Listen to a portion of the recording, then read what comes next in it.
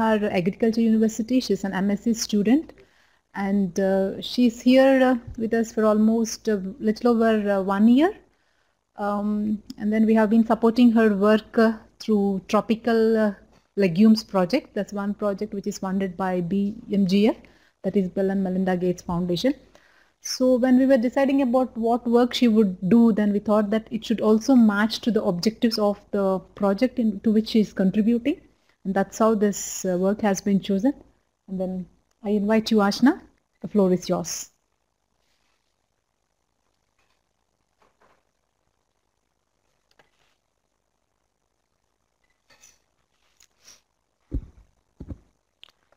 Respected teachers and my dear friends, good afternoon to one and all present here. I'm Ashna Akbar, Research Scholar in Groundnut Breeding Department under Dr. P. Janila. Today I'm going to present my seminar on the topic Genetic Variability Studies in Groundnut Genotypes under Heat Stress. As an introduction to the groundnut, groundnut is one of the most important legume crops which is primarily grown for its high quality edible oil and protein.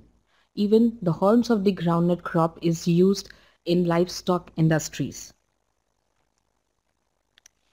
Coming to the area and production, globally, groundnut occupies uh, nearly 24.7 million hectare areas on the globe of uh, across 82 countries. However, for India, it is the it has the largest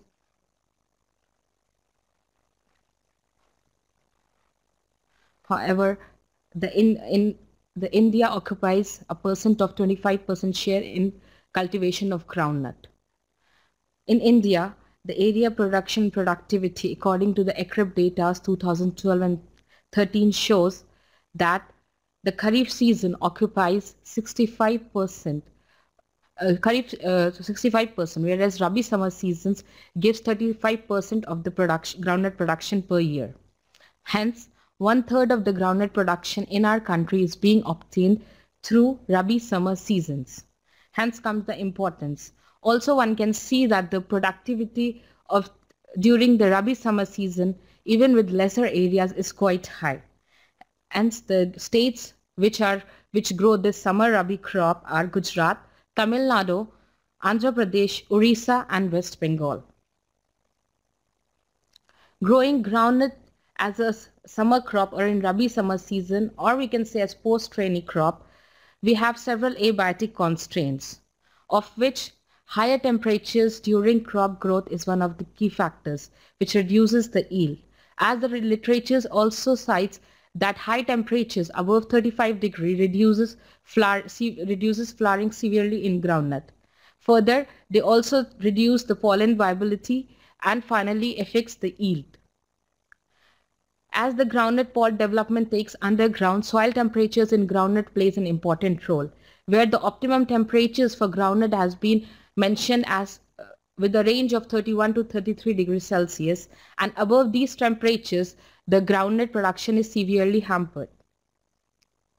With these backgrounds and taking these considerations into account, we designed, I desi the experiment was designed to study the variation for the yield parameters in groundnut genotypes during heat stress.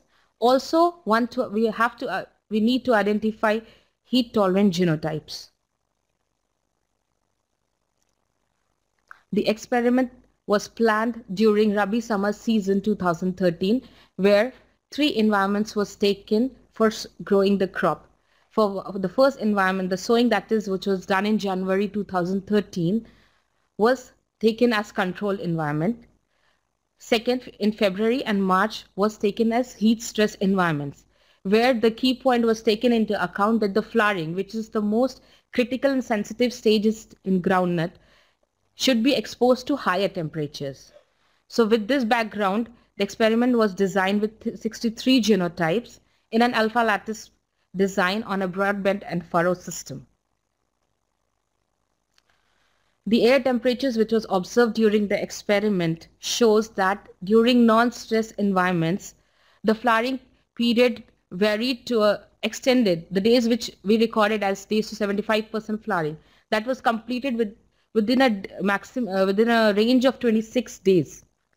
However, it significantly reduces to 18 or 20 days. That, that means a reduction of nearly about more than a week was observed in the heat stress environments when compared to non-heat stress environments. Taking 35 degree as critical temperatures for flowering, this was categorized. So under non-stress environment, as we can uh, see, only 11 hours were observed. That is only in three days it was observed temperatures above 35 degree. However, in E2 it was 75 and E3 in, it was 110 hours, which shows that these environments were exposed severely to heat, the flowering conditions in these environments were severely exposed to heat stress. The soil temperatures during our during the experiment was for non-stress environment it was average of 17 degree to 33 whereas for stress environments it's ranged from 20 up till 40 degrees which is quite high from the optimum temperatures which is required for pod development and other especially for pod growth and development. Pooling of the genotypes for this study. The genotypes such as ICGV 02266, 227, uh, 02277, these are already identified as heat tolerant genotypes or we can say genotypes which are perform high yielding during high temperatures. Whereas ICGV 93468 also known as Avtar is a released variety in, in UP state for growing under summer seasons. Along with these genotypes, advanced breeding lines were also considered where we pulled together all these to see the differences which varied from these genotypes in the advanced breeding lines taken from uh, groundnut breeding.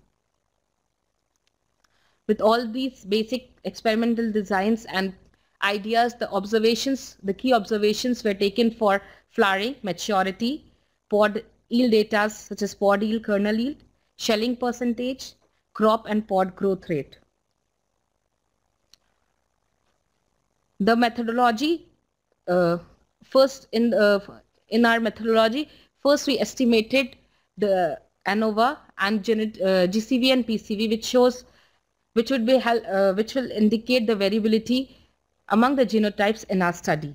Secondly, we did uh, ident like we identify we selected uh, traits based on heritability and genetic advance and also finally we identified some suitable genotypes for growing under heat stress conditions.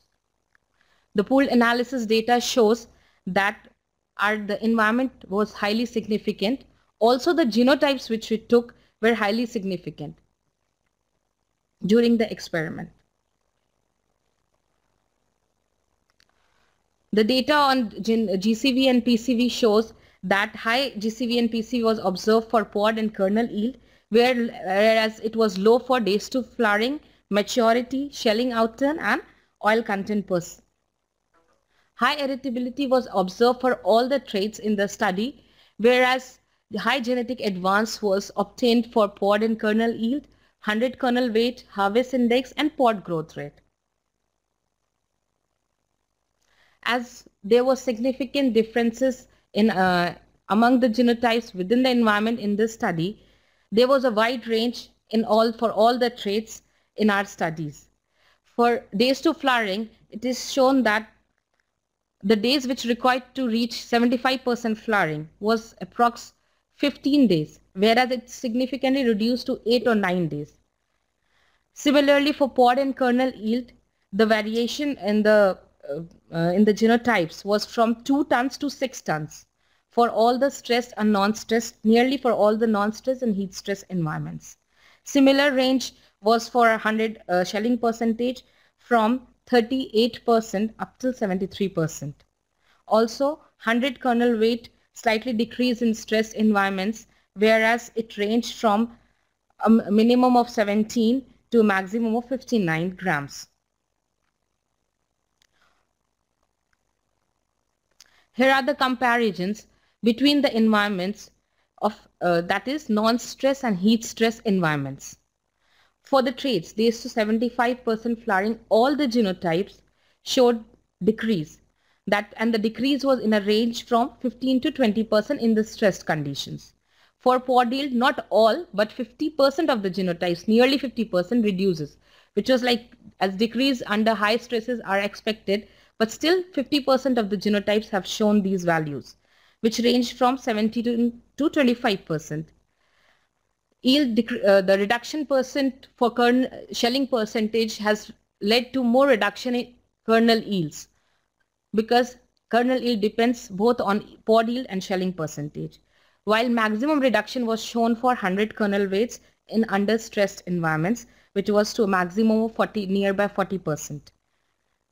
100 kernel weight and shelling percent uh, decrease was shown by all nearly like 75 to 70, 80% genotypes, whereas I already mentioned pod yield was for nearly 50% genotypes.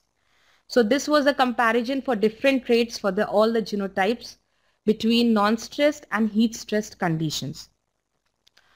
But crop growth rate in our experiment was slightly got increased during heat stress conditions when compared to non-stressed. On the basis of pod yield data, we have grouped our genotypes into three categories.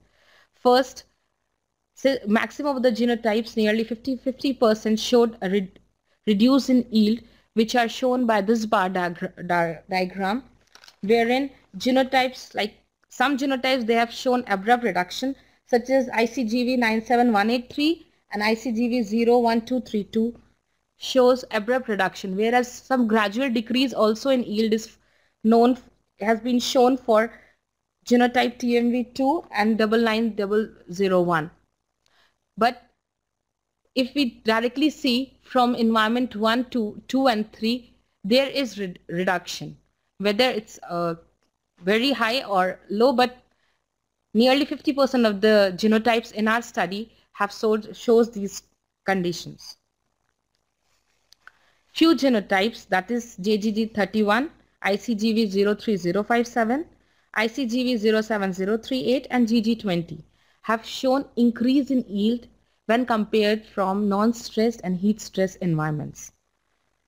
The trend lines shows this increase in yield from E1 to E3. This was the second group.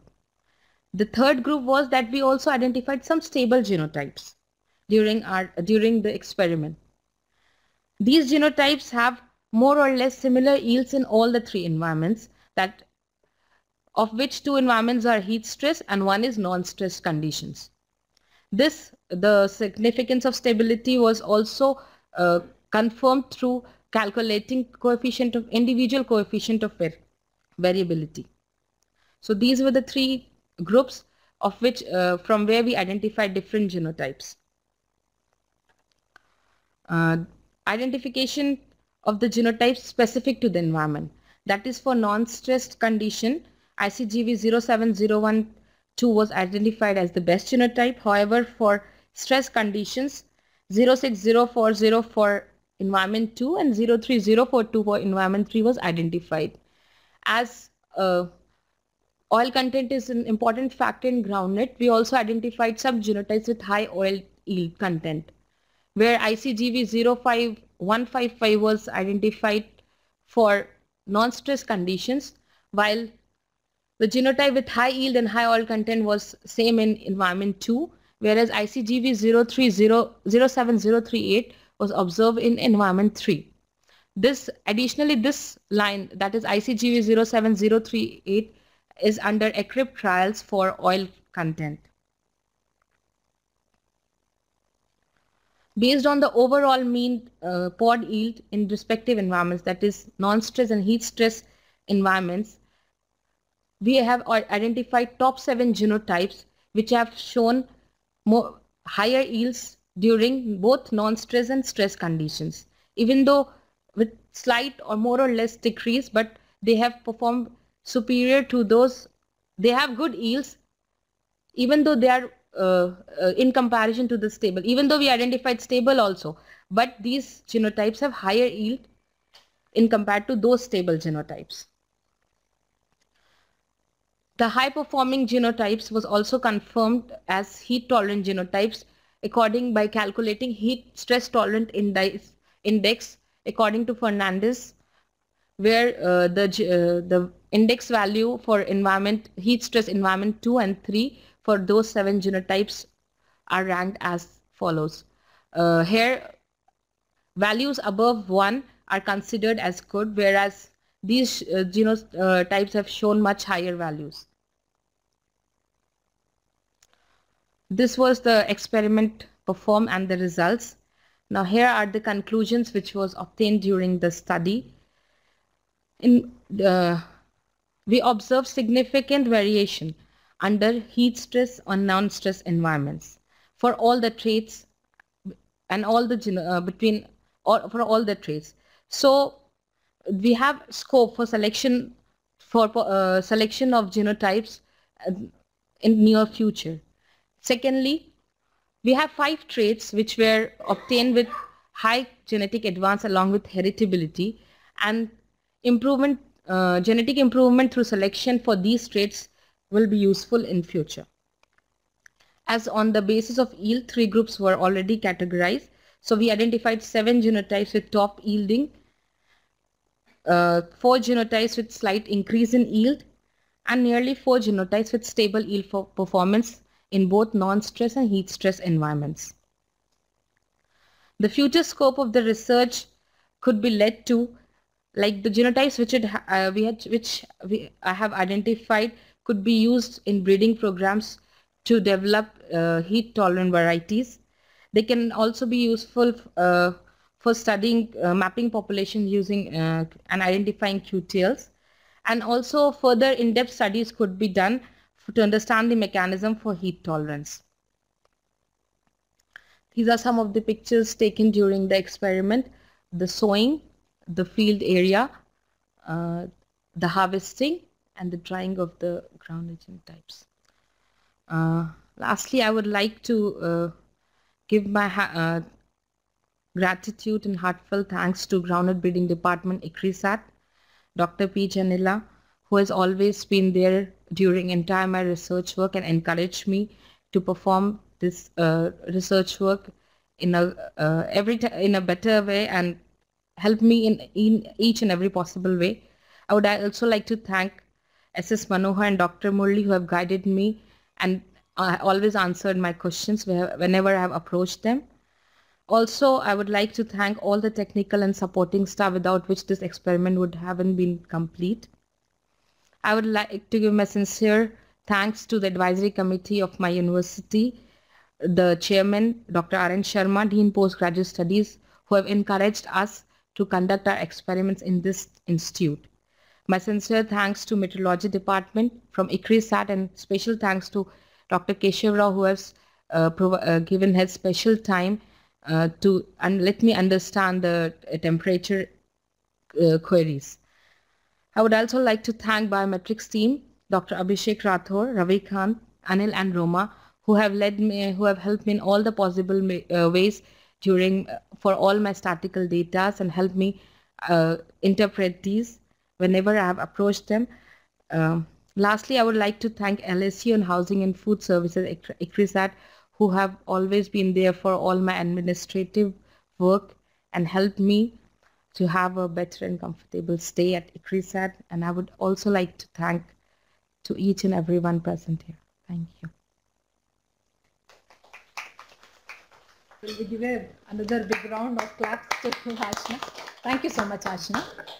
And uh, thank you, uh, everyone, for being here and for your valuable suggestions and comments.